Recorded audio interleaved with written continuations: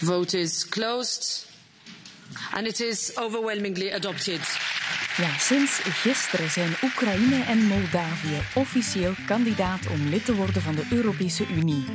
De leiders van de EU-landen hebben de vraag van die twee landen goedgekeurd. De Europese Unie, we gebruiken vaak de afkorting EU, is een samenwerking tussen 27 landen die is opgericht na de Tweede Wereldoorlog.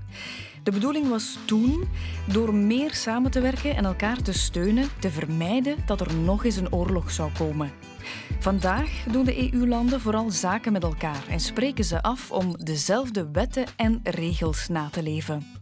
België was er van in het begin bij, samen met Nederland, Luxemburg, Duitsland, Frankrijk en Italië. Over de jaren heen kwamen er meer en meer landen bij en nu zijn er dus 27 landen lid.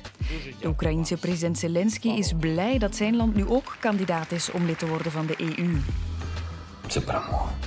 Ja, door de oorlog met Rusland vinden de Oekraïners het extra belangrijk om bij de Europese Unie te horen.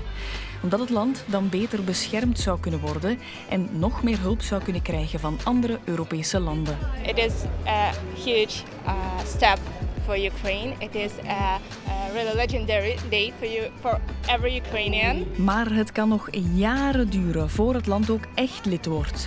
Oekraïne moet eerst aan veel voorwaarden voldoen. Zo moeten ze veel wetten veranderen en aanpassen aan de Europese wetten om erbij te horen. En dat gaat heel traag. Soms kan het wel tot tien jaar duren. Merci om te kijken naar de video. We hebben er nog veel meer, dus vergeet niet te liken en abonneren op ons kanaal. Hè.